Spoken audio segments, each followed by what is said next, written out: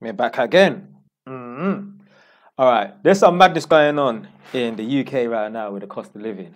And there's one video that I'm going to react to. So I've got about four or five videos that I'm going to react to. But there's one video in particular. I don't even know what order it comes in. I think it's, well, anyway, stay tuned to the end anyway. But anyway, there's some woman, apparently, or women, because I ain't watched this video yet, who are basically putting themselves out there on the street and selling their body because the cost of living is nuts. So let's get into it, fam. Should be interesting. And we get quite a lot of slugs, so every morning you'd see little slug trails. Yeah, let me show you the kitchen. So... Hayley's been renting this home for five years, but has faced an uphill battle to get problems in it sorted. This is after cleaning it regularly. You can still see that there's staining from the black mould. And this is where you keep your food, yeah. store your groceries. Yeah. I try and keep everything enclosed. I couldn't keep any fresh food in oh. because it would just go mouldy and go rank. So. But for many private renters like her, raising issues with landlords comes with a fear of increasing rents or having their tenancy ended. So this is the shower.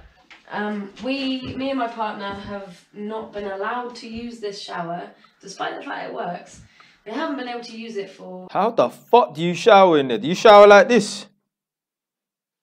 Like fucking hell, man! Like this phone box is bigger than that. Shit, blood. It's mad. 11 months. And what we've discovered is that it's leaking in various different places. You've been washing in this then every yeah. day for the last 11 months? I would fill it up about three inches. We can't afford in a cost of living crisis and an energy crisis to be running a bath every time we need to wash. Oh, what a bad Last year, Hayley was told her rent was due to increase by over 25%. Uh, doesn't shut. Shortly after that, she was served a Section 21 notice, a so called no fault eviction, giving her eight weeks to leave. It was. Let me pay attention to that notice. Shut. Shortly after that, she was served a Section 21 notice, a so called no fault eviction, giving oh, her. Ah, so Section 21. Okay, all right. I mean, my, my, my notice that I give my tenants is a Section J wise, but yeah, okay. Now I know the official term. Eight weeks to leave. It was just such a blow because we'd already been, it was 10 it was like nine ten months into you know the sh- not having a shower and the house was, de- was deteriorating in quality quite rapidly as we were going into winter the house prices and renting prices in bristol have just gone like they're just too, way too high and then when he handed us the section 21 he kind of he saw it coming almost like he'd have to do so much work on the house that we'd have to leave at some point for him to do mm. it. But it was like super devastating because we had made this our home. We contacted the government who told us they're committed to increasing rent. See, that's the problem. That's why I don't want to let out my entire property to a family because with HMOs or, you know, room shares and that, when people go into there, they know this is temporary accommodation. Now it might drag on for three years and that, but they know they got it in their head, oh, this is temporary accommodation. One day I'm not going to be living here. But when a family takes on a house, even if they're keeping up with their rent or not, it doesn't matter anyway. But yeah, let's just assume they're keeping up with their rent. They believe it's their house. So when it comes time to evict them, through was it the section 21 no fault eviction so it's just oh i need the property back for whatever reason i'm selling it i want to do out the house and it's not going to be habitable for you to stay in the property while something. When they get served that eviction, they don't want to leave, blood. I've met tenants who have told me, two separate tenants. Now, obviously, I've probably met other tenants that haven't, you know, told me why they've had to leave the property now. But I've had two tenants tell me that, yeah, the reason why they're living in a council house now is because the landlord wanted the property back and they said no. And they had to get the bailiffs to evict them. And I just think to myself, there's no way these lot were still paying rent. Obviously, in the history of the world, there must have been some people who, you know, they were the landlord wanted to evict them and they were saying no, but they were still keeping up with the rent. But more than likely, these tenants, if it takes for bailiffs to pull up at your door, more than likely they probably stop paying the rent. They probably said, you know what, fuck it. If you're kicking me out and I don't want to go, then I'm not paying rent. uh, this is what happens when you rent out the whole entire property. People get complacent and you know, oh, I like my neighbors, I like the area, my kids go to that school over there, it's convenient for work. They don't want to move. They don't want to move because houses aren't that easily available for you to just get somewhere in the exact same area. Is it going to be as nice? Is it going to be as big?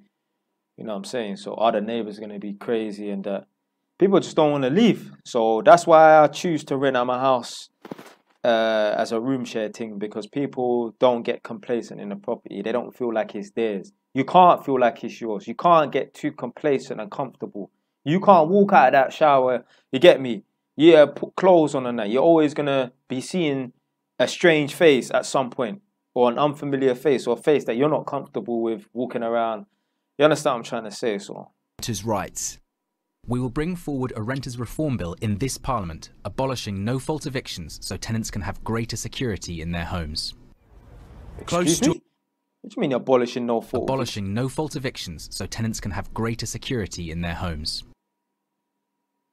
So basically, what you're saying is if someone takes on a house to rent, they can rent it, and unless there's a fault with, with them, like they're damaging the house or they're not paying rent, they don't have to leave. This is what I'm saying. No, motherfucker, get the fuck out of the yard, blood. It's not your house. If you have a problem with landlords kicking you out, Save your Clark money and buying your old fucking property, blood. End of story. I don't have I don't worry about a landlord kicking me out. I've never had a landlord. The only landlord I've had is my mum. yeah. I've never paid rent in my life. I've contributed to the household bills, giving my mum money. But I've never paid rent to a landlord. I don't even understand what that means, blood.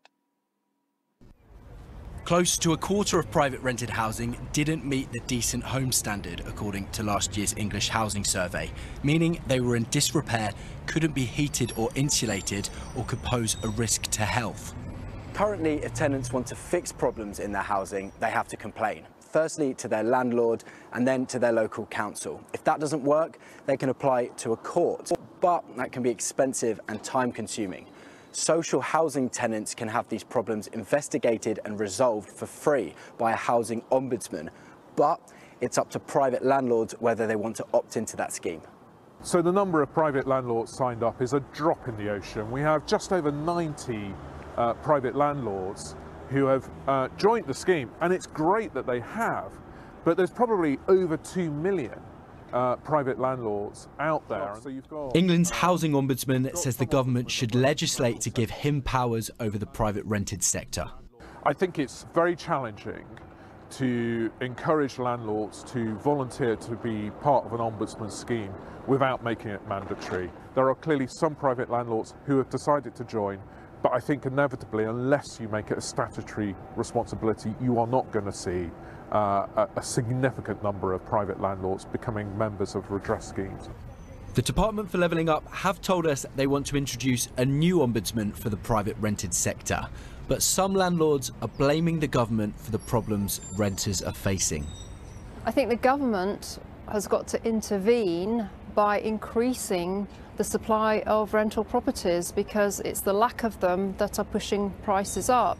Vanessa Warwick runs Landlord Forum Property Tribes and says some of her members are worried about potential changes to the sector. Many, many landlords um, are concerned about Section 21 um, being, being abolished. Um, one thing that landlords need is, to um, have certainty um, and you know to feel confident about investing because I feel that you know landlords do want to know that they can um, regain possession of their property if they need to. Yeah. The Meanwhile, fuck, tenants like Hayley are left to find a new place to call home. It's quite a desperate situation for people my age, but I, I you know, I'm I'm still lucky. I'm still lucky. I'm still grateful for what I have, for having a roof over my head. It's special. It's magic. Alright, next video. Literally, I ain't seen none of these videos. This Christmas, it's really, really going to be difficult. It's like we've gone back and everybody's struggling. It's difficult because you ain't putting the fucking work. End of story. If you're broke right now, it is your fault. It's no one else's fault. You need to start taking accountability for your situation. Take accountability for the good things that happen in your life and take accountability for the bad things that happen in your life. The good things that's happened in your life is not by luck. You probably put in work and whatever. And the bad things that happen in your life is not being unlucky. You probably made bad decisions and that stupid decisions.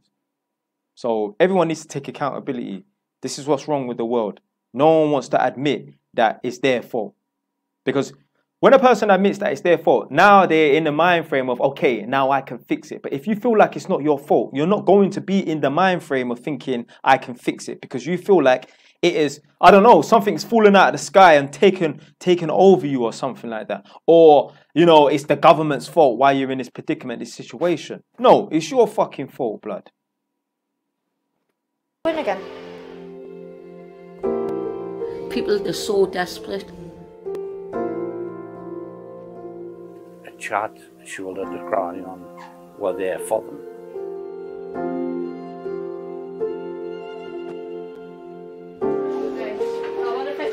If you don't know what a warm bank is, it's basically almost like a homeless shelter for people that do have a home.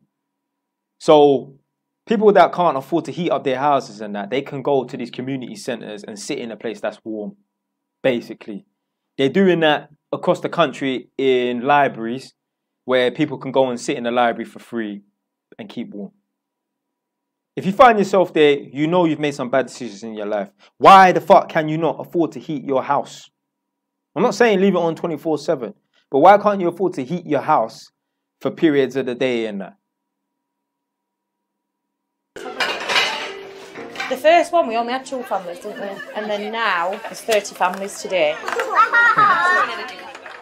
A welcoming space is somewhere that is happy, warm, a friendly face, a hot meal, where they know that they can come without any judgment, have a hot meal, a chat. As it gets colder, it's getting a lot busier. We just do what we can, really, because everybody needs an helping hand sometimes. You need to slap that. The hub itself was ostensibly set up for veterans to give them a warm, safe place to come and be with other like-minded people. Uh, they're all as nutty as I am, so I don't feel like I'm, I'm, that I'm, I'm any different from anyone else in here. You've got to be really thick-skinned, like. Sometimes it was the case what if it wasn't for somewhere like this to come, some of the veterans wouldn't leave the home. And there's always support for them there if one of them's feeling down, a chat, a shoulder to cry on, we're there for them. All I'm seeing is low value meal, low value meal, low value meal, low value meal. Ain't no high value meal, ain't no mediocre. Well, maybe mediocre, but yeah, ain't no. I, I don't get into these terms and that in it, but I'm just using these terms low value and high value and that just so you can understand. If, as a man, you find yourself in this situation, you are a low value male because you don't even have the pride to know say, you know what, yeah, this is a shit situation to be in. I can't even show my face in this situation. You know what, I'm gonna freeze my ass in this yard. You know, what? I'm gonna put myself in an uncomfortable position so that I do something about it. These guys here, and these chicks as well, but these guys here are gonna sit in this place, in this warm place, and think, yeah, you know what, yeah, that's a little uh di- not a distraction in that, but I'm able to abide my time in this place. No, fucking fix the situation, man. How are you 60 years old still struggling? What have you been doing over the last solid 30 years of your life? I get it. I'm not really saying I agree with it, but people fuck about in their 20s in that. But the age of 30 to 60 years old, what have you been doing for the last 30 years, blood? Seriously. You've been playing a fool's game, man. But man still got time to have pet dog, yeah?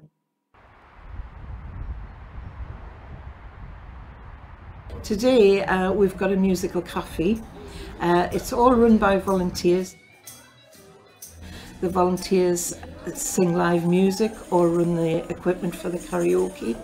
We have a lot of people who have learning difficulties come in and they, they really respond to the music and, and the space. Doesn't matter why people come, we just want them to come. That's the main thing.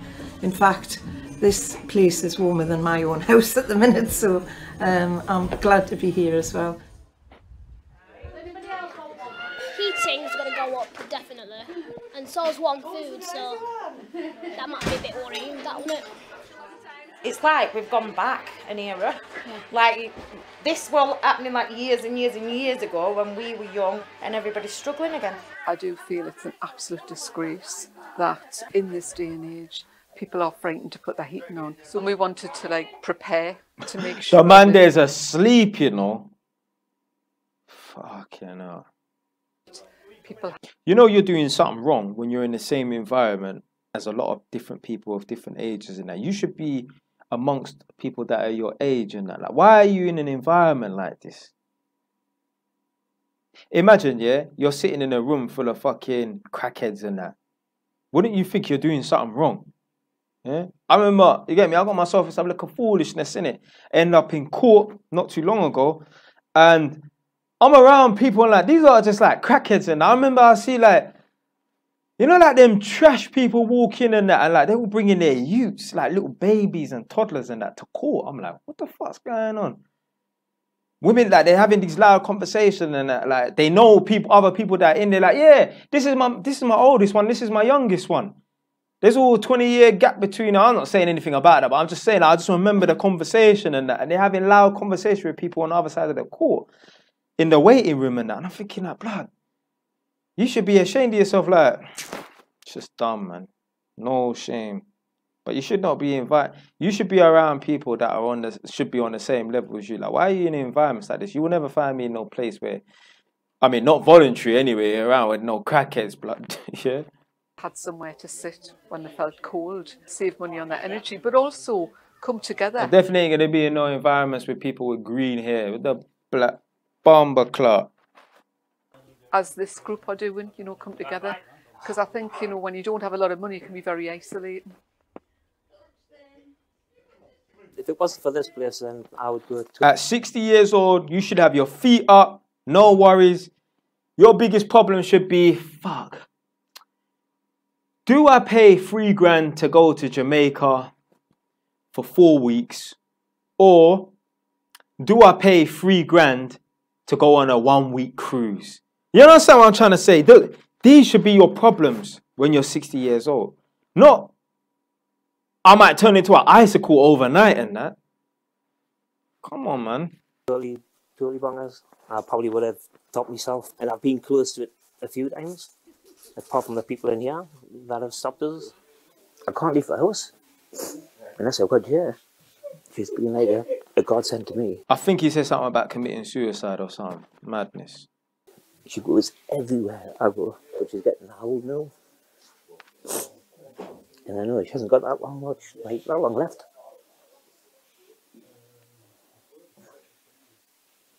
But I try and put that on my head. Yeah, he wants to cry, blood. Pussy. Pussy, I think there's a lot more desperate people out there than ever before. Even with COVID and that, you know, people coped, didn't they? Their money and that. But now they're just, they're so desperate. And we do try and help. You know, if someone came in and said, could you help us with any food? We'll give them a bag of food to take home. You know, we'd never leave anyone desperate. I don't put my heating on. I can't afford it.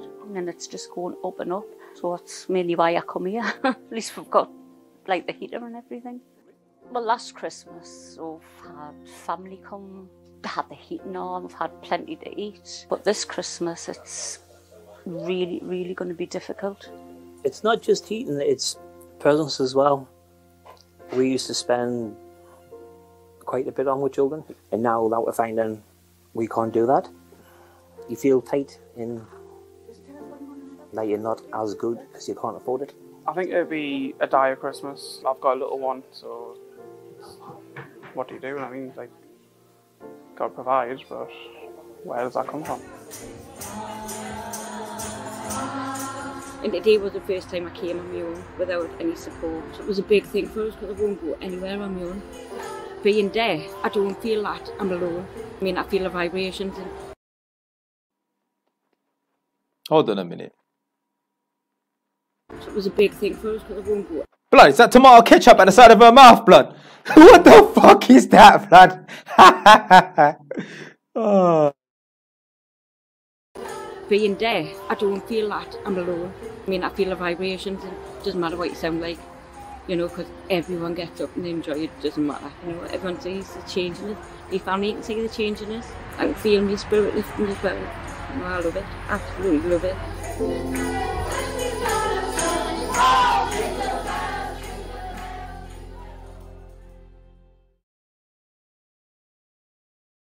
Next video. Winter is five years old. Throughout her whole life, she's lived in temporary accommodation.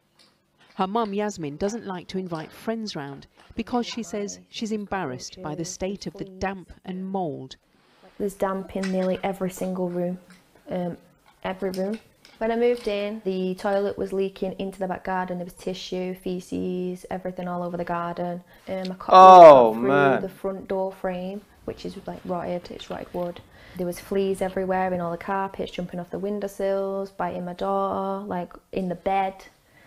So Winter actually had bite marks Oh on yeah, yeah. I've got pictures and stuff. She got bit all up her body, from legs to top. The family previously spent months in hotels and hostels across Manchester. They were then offered this property until they can be rehoused permanently. As we're filming, we hear evidence of another problem. I can actually hear something. I bet it's rats.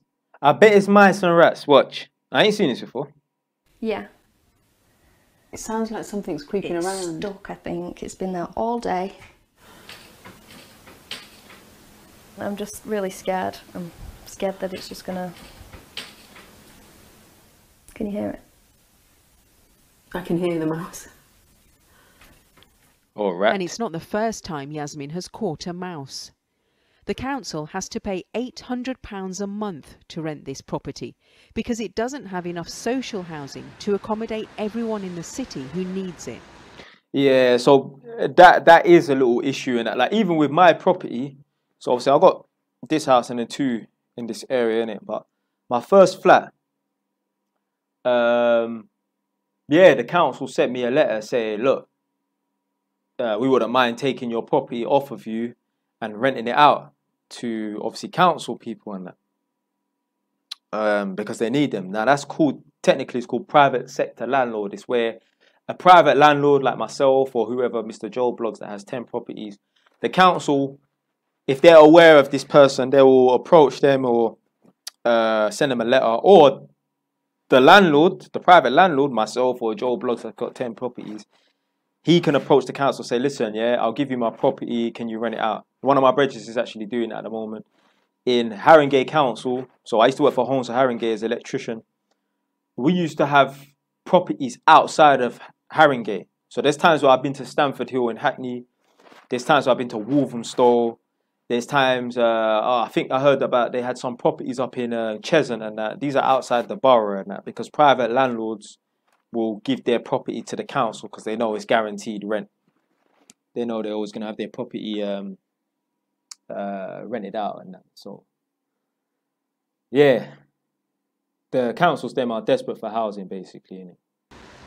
Winter and Jasmine aren't alone. New research by the charity Shelter, seen by Channel 4 News, shows that more than 230,000 people are registered as homeless in England, and that includes 123,000 children. With the pressure on social housing, temporary accommodation is anything but. The government told us that temporary accommodation is a last resort and that councils have been given 366 Now, why did they zoom in on the cigarettes? I mean, what was the point of that? But anyway, million pounds this year to prevent evictions, but the numbers are growing every day. At Manchester's civil court, ah, that makes sense now. That fucking makes sense. The reason, remember that clip that we saw earlier where they were saying that the government are looking to introduce that new thing where you can't do a section 21, a non-fault eviction. So a non-fault eviction is you haven't done anything wrong, but I want the property back for whatever reason. I'm selling it, whatever, whatever. Well, not not selling it, but I just want you out. I want to get some new people in for whatever reason.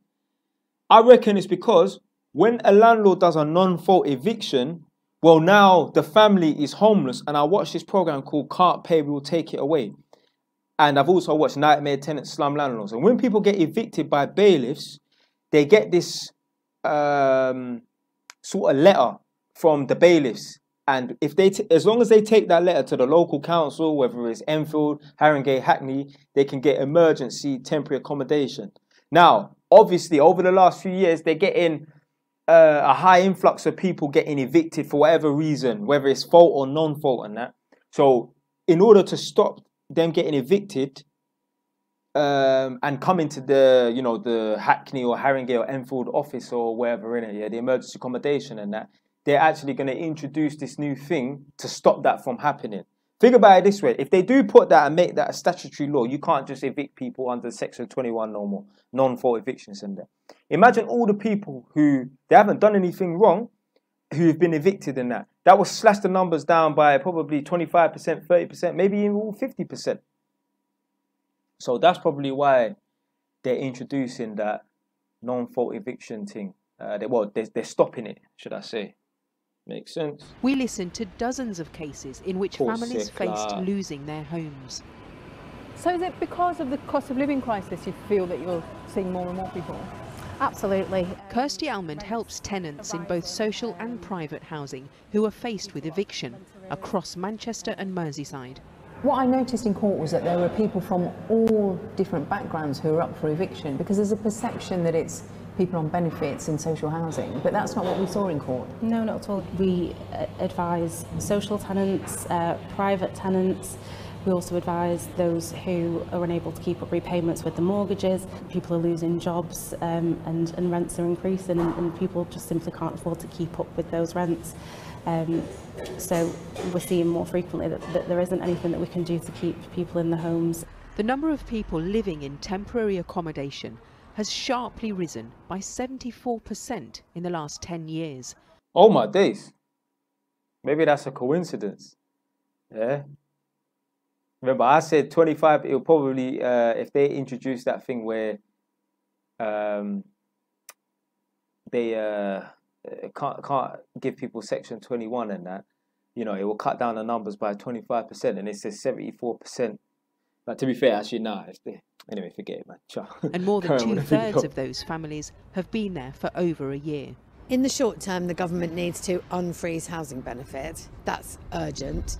Um, but they also need to supply homes that people on low incomes can actually afford to rent. And by that, I mean. Why you on a low income, blood?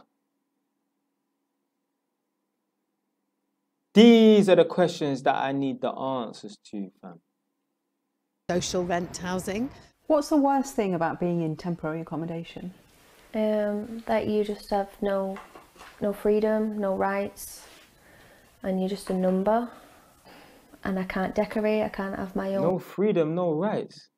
Blood, you're not a prisoner, you know. What do you mean? Blood, this, this is your fault.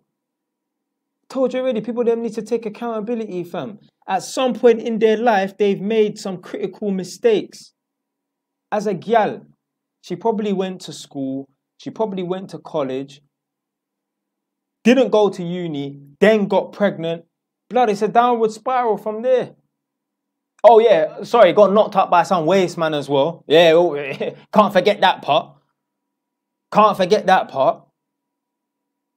Take accountability. These people actually, this is this is why some people will never be able to progress in their life because they don't even understand where they went wrong. I made a video talking about we need to review our timeline and understand where we went wrong. A lot of people don't understand it's because, oh, you know, they dropped out of college and then they just decided to, or they didn't even, or they dropped out of a course. They didn't finish this course. They went on to that course. Then they didn't finish that one. Then they fucked about and then they end up dropping out. Then they thought, oh, you know, let me just go work for Sky or Virgin Media or fucking, was it Auto Glass and then places. Just dumb jobs. You need a fucking career, fam. You don't want just a job. You want to get yourself in a career where you can progress. Stop working these bullshit jobs that uh, means that they don't end nowhere. personality.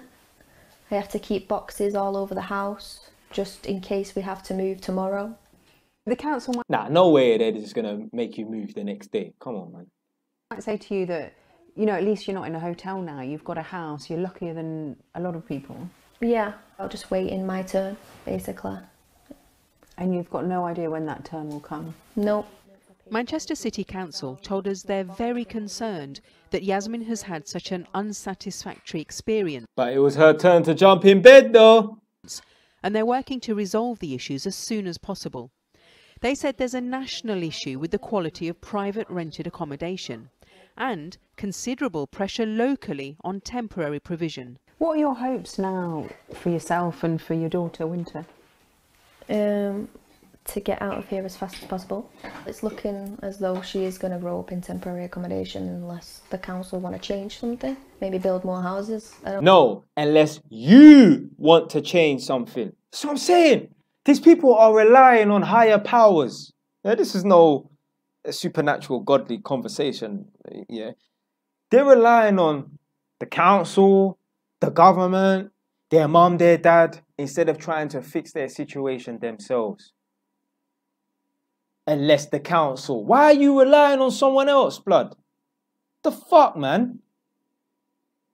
God forbid I start relying on the government or the council to fix my situation. I'll make a live stream and castrate my fucking self, blood.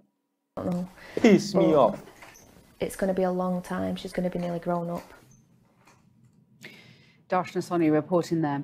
Well, earlier I spoke to Lord Bob Kerslake, the former head of the Civil Service who used to run the Communities and Local Government Department. He now chairs the Kerslake Commission on Homelessness and Rough Sleeping. I began by asking him for his reaction to the scale of homelessness in England. Well, it's a shocking figure, but I'm afraid not surprising. Uh, this has been building for a number of years. And whilst the government have taken uh, measures to address some of the uh, most acute issues on homelessness, particularly rough sleeping. I'm afraid uh, the core problem we have in this country not, is that we're not building enough genuinely affordable homes. I mean, that is the fundamental problem. That has been a problem in successive governments of, of different political hues. Most recently, uh, housing targets, which councils were supposed to observe, were watered down after a, a, rebellion by Conservative MPs. So, how do political parties get round this kind of NIMBYism? How do they address that? Well, it's a good question. And it's not just that we need to build more homes, we specifically need to build more homes that are genuinely affordable for rent, because really those are the houses that people who are at risk of becoming homeless need to go into.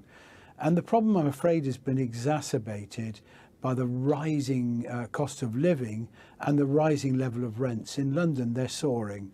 Uh, and I'm afraid the housing allowance, the so-called local housing allowance, that sets the level of benefits just hasn't kept pace. So you're finding, if you like, more people coming into homelessness and fewer opportunities to house them.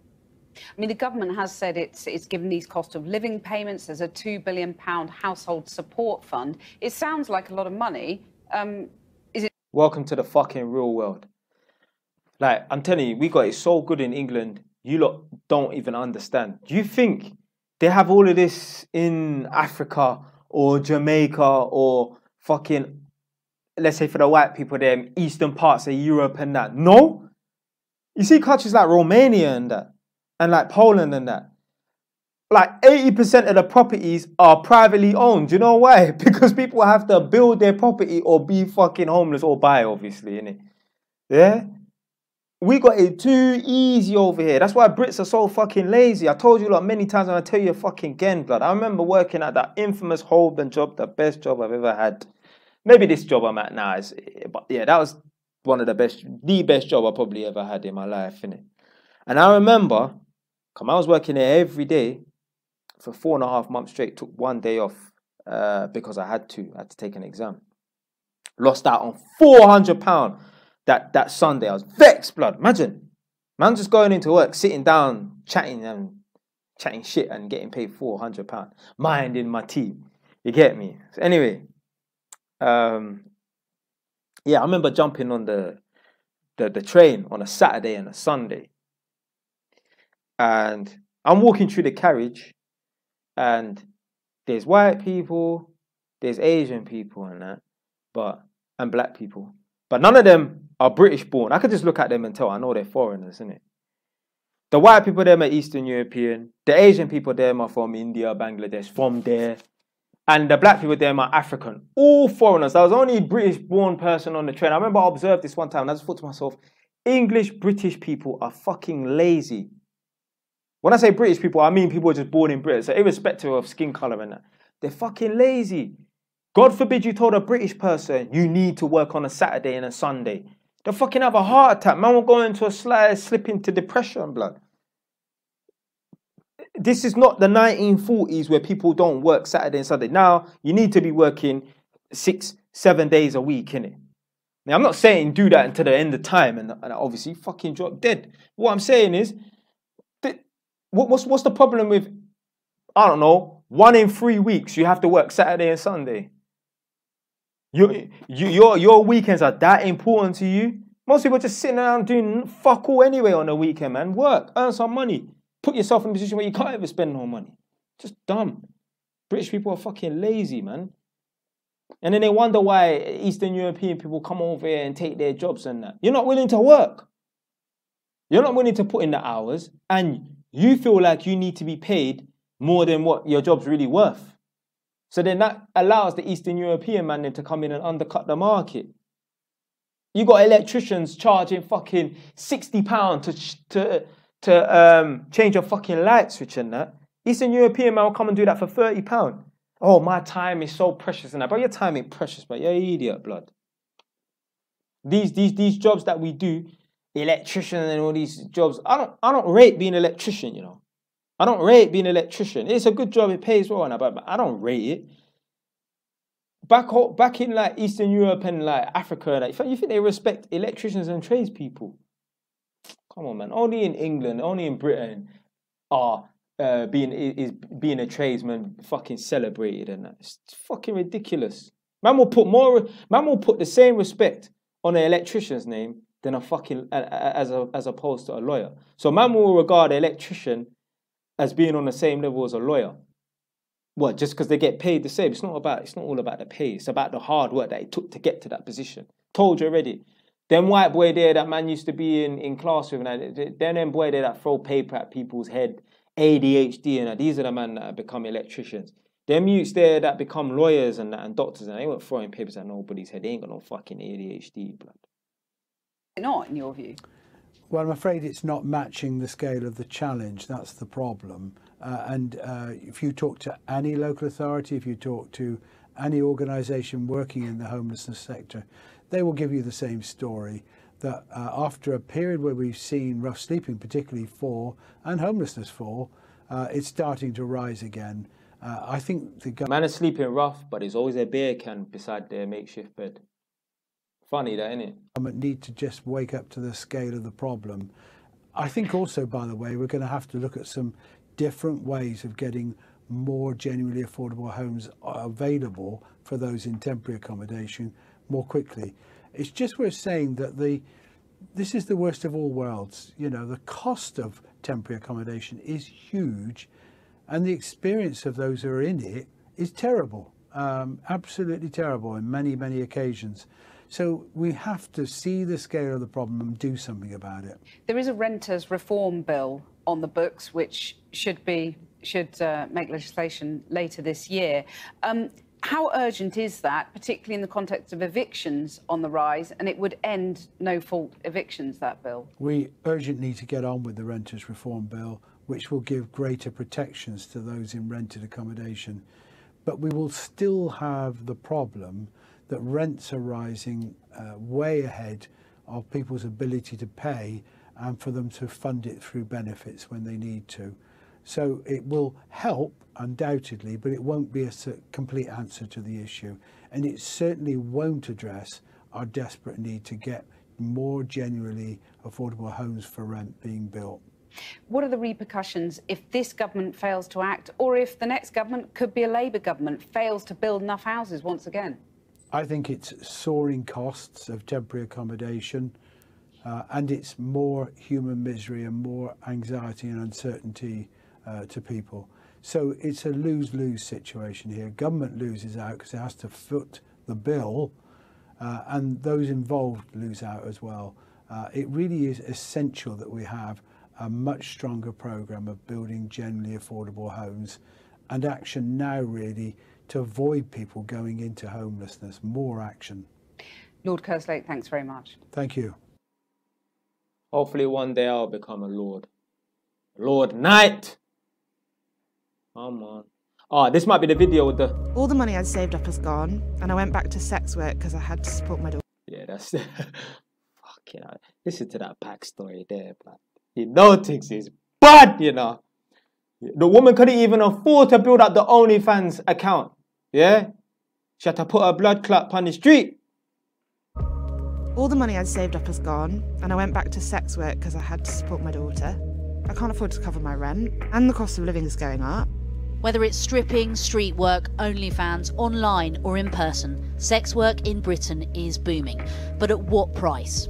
There is no doubt in my mind that people are doing more riskier forms of sex work to get by. Women have told us they're returning to work in brothels and taking on potentially more dangerous clients just to pay their spiralling bills. The women that we hear from every single day are being pushed into sex work because of poverty. If we had money in our hands, I wouldn't be in this situation to start with. Mad. These girls are opening up, spreading their legs just to put corn beef on the table, blood. Are you mad? Fucking hell, blood. I say, you know times are hard, boy. I do my best to protect my daughter, and this is just all really for her. The world of sex work can be precarious. Stacey Clare, aka the ethical stripper, wants to take stripping out of the shadows and into a space where she and other workers set their terms. Life drawing classes run by and to support sex workers. Stacey is tonight's model. East London strippers. Let's see if there's an address. One sec. Where she and other workers set their terms. Life drawing classes run by and to support Oh, what's all that? their terms. Life drawing Right, what's all that red? Is it the time of the month or something? classes Fuck, run blood. by and to support. Go clean yourself workers. up, man. To is tonight's model.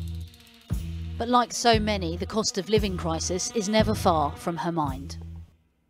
History teaches us that when we see economic downturn, the most vulnerable people in society are closer to harm.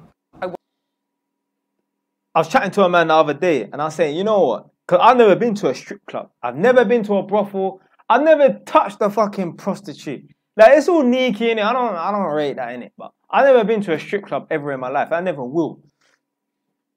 Um it's one of the sneakiest things to be going to a, a strip club and peeling off 50s, 20s, 10s and that, and you're throwing money at women.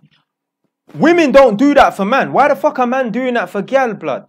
It's sneaky blood. Why are you giving women money? Do you think I've ever given a girl money before in my life, blood? Obviously, I've said, yeah, take this £10, go buy this, or obviously, you understand what I'm trying to say, innit? Yeah, let's not get stupid to think that I've never given a girl a pound or ten pound or whatever, innit?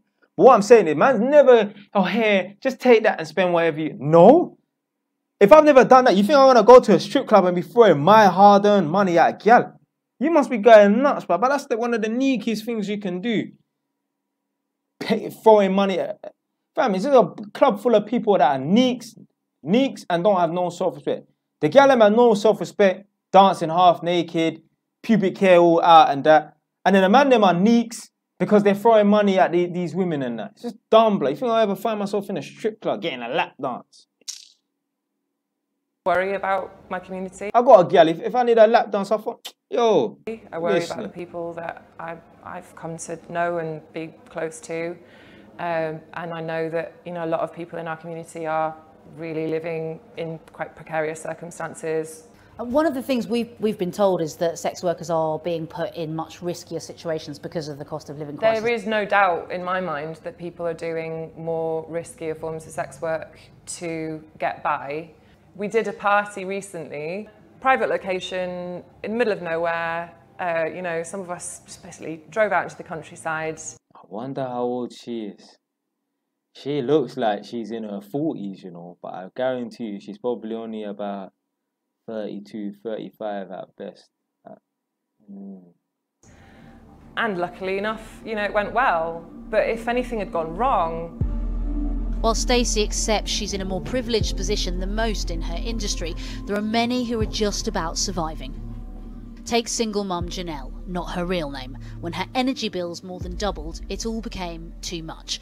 Having left years ago, she has recently returned to sex work. My bills started skyrocketing. I had to move out of my flat and find somewhere cheaper. I just feel like my whole life has turned upside down due to the conditions I'm working in now. Do you find you're taking riskier jobs and, and it's more dangerous because you need the money? Before, I could think about my safety and whether I should take that client or not, but now I don't really have much of a choice. I work longer hours just to make the same amount of money. And I, you have to think to yourself, like this thing is dangerous. Meeting up with clients, like being in a strip club. I mean, I don't think that's dangerous because there's witnesses and shit like that, and it's all. But these women that are meeting up with clients and that being prostitutes, selling themselves and that, you're dealing with men who are desperate. Desperate people are the dangerous motherfuckers on this planet, you know. Desperate people. If a man is hungry enough, he will kill you over a sandwich, you know. If a man is desperate enough, a man will snake you for your gal, you know. If a man is desperate enough, a man will rob you, you know. So if a man is desperate enough, and certain men feel like, no, why should I need to pay for this? I'm a man, so I should get this for free and that. Madness. You're dealing with desperate people, isn't it? So there's there's always a danger and a threat when you're dealing with desperate people. I'd rather do business with a rich, wealthy person than a fucking crackhead or a man that works minimum wage. Like, who are you going to trust more? Would you trust leaving £10,000 with Alan Sugar, you don't know who he is, or some local fucking tramp that you don't know? I'd rather leave £10,000 with a wealthy, or you don't even have to be Alan Sugar, someone that you know, like, okay, for some reason you just know that this person is wealthy enough. I'd rather leave £10,000 with this rich, wealthy person than fucking some random guy off the street who's working minimum wage and that. Never spend anything on myself, like clothes. My only expenses are my daughter, food, housing. I have to be so careful. Condoms. My daughter was asking me for a happy meal the other day, and then I had to pause and check my bank account to see if I could afford it today or if I should wait till tomorrow. I have never, ever in my life need, wanted to buy something and thought, can I afford this? No. For one, I always know how much money I got, really. And I've got so much money. I, I ain't rich. What I'm saying, I've got so much money that I don't even need to check to see if I can afford this or not. It's whether I think it's worth it or not. That's the sort of position you want to be in. You don't want to be thinking, can I afford this? You want to be thinking, is this worth it? I've never gone to buy something or thought about buying something. Let me check my bank balance first. No fucking way. Absolutely not. Hi, yes, how can I help? From housing to heating, in the last few months, the English Collective of Prostitutes, which supports sex workers, say they've received hundreds of calls from women asking for help. Most of the women we're seeing are mothers. I mean, that has to say something about what's happening out there, you know, why people are being pushed into sex. Well, of course they're going to be mothers. Most prostitutes are going to be over the age of 21, 25, 30 years old. And most women over the age of 21, 25, 30 years old are going to be mums. Like, it's just, come on, man. It's dumb. That's like saying most men in the army are fathers and that. Well, most men who are, a lot of men who are 21, 25, 30 years old are going to have kids. Let's Work at this. Like, what demographic of women did you think would be prostitutes and be uh, childless? Like, come on, man, it's just dumb moment in time because the other jobs that you can do don't pay enough to make ends meet. We get women calling asking for food vouchers or whether we can help them find their nearest food bank. They're worried about the high energy bills, they're worried about the cost of transportation. A lot of women calling about housing issues. You've, you touched on this. Obviously, there are a number of grey areas when it comes to sex work. You know, some of it's legal, some of it's illegal. Even though it's not illegal to exchange sex for money, if you work in a premises with just even one other woman, you're actually breaking the law and you can be done for brothel keeping. What we're asking for is, particularly at this moment in time, in a cost of living crisis, decriminalise sex work. Women shouldn't be punished for earning a living, for supporting their families.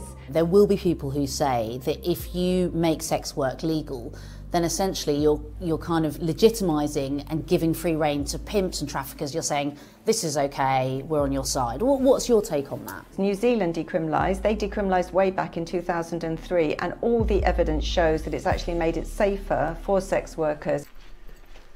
As the cold weather bites, we're in Leeds, where the Basis Sex Worker Project has been set up to support cis and trans women working on the streets. Here, donated clothes are being dropped off for sex workers. We are really worried about women that don't see themselves as sex workers but are turning to. I mean, I ain't pulling up on no prostitute wearing those fucking jeans, blood. Yeah? The fuck? Man, if I'm pulling up on a prosy, blood, you better be wearing something better than that. Sex workers. The fuck, really blood? Some Bob the Builder Peacock's blue denim jeans, blood. Are you mad? Worried about women that don't see themselves as sex workers but are turning to survival sex, for want of a better phrase. Survival sex, you know. Going back to basics, literally. What can I sell? My body.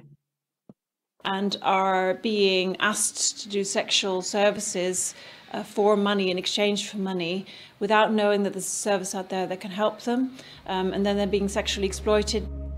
When approached by Channel 4 News, a government spokesperson said it was providing an extensive cost of living package for families this No one is asking them to do sexual. Obviously, there's always the little 1%, but forget about that. Yeah. No one is asking them to perform sexual uh, acts and that. They are putting themselves out there. They stand on it. Come on, man. Let's see, this is the thing. They're not taking accountability. Oh, well, you know, I just got into prostitution because uh, I, I just happened to be asked by this guy and I thought it was a good idea and I just went along with it. No, you put yourself out there, man. Winter, adding that they were committed to protecting those selling sex from harm, enabling the police to target those who they said exploit vulnerable people. While rising bills and living in poverty is no secret, being a sex worker for some has to be. I'll never tell any of my family or friends what I do. They think I'm a cleaner. Essentially, I, I do my best to protect my daughter. She be out here polishing the crown jewels, baby. And this is just all really for her. The more people can start to see sex workers as human beings with complex lives, with relationships, with kids and families and you know homes and responsibilities and commitments is any it's like anyone else you know we're, we're not that different That's mad, you know. So, I mean, any of us watching this right now, whatever in it, yeah, probably don't know anyone, but you never know. You could. There are people out here who just think, oh, that person just whatever they're clean or whatever. They are actually a sex worker. Now, the reason why they'll use the job as a cleaner is because they have no fixed place of work. Remember, if you're a cleaner, you're going to be all about the place and that. So it's not like you know, you know what I'm trying to say in it. Like, if you knew your friend was an office or your friend told you they're they're an office worker, that could be sort of disproved. And that was like, well, if you're an office worker, why are you always in different locations? Whereas if you're a cleaner, you know what I'm saying? You're always on the move, you're always out and about and that in different locations and that. So that's why they say, that's why she says she's a cleaner. That's mad. But literally, some of us might know someone who, you know, sells their body on the side and has been doing it for a little while, you know, but they just keep it stum. It's nuts. But that's it for today. Madness. Can't believe people are actually spreading them legs just to keep the heating on. Nuts, man. Stay away. It's done now.